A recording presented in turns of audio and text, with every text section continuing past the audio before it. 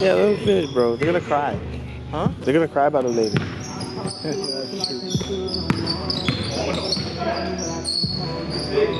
Good. Hey.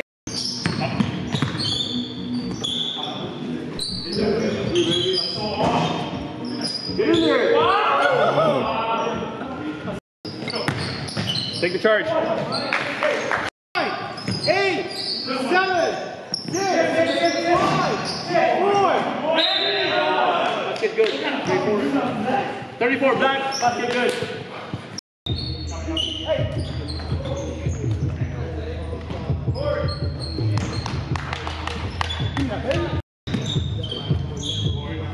Take it, take it to the rim.